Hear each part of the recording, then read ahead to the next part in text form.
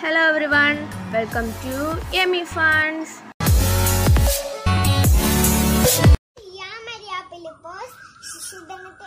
കൊച്ചു പ്രസംഗമായ ബഹുമാനപ്പെട്ട നവംബർ പ്രധാനമന്ത്രിയായ ജന്മദിനമാണല്ലോ.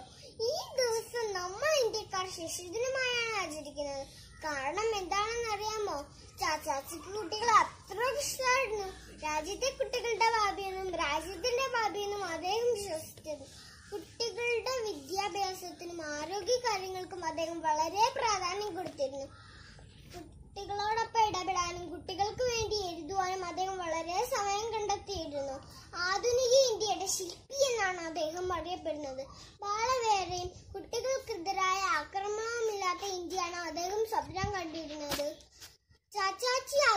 പോലെ നമുക്കും പഠിച്ചു വളർന്ന് രാജ്യത്തിന് വേണ്ടി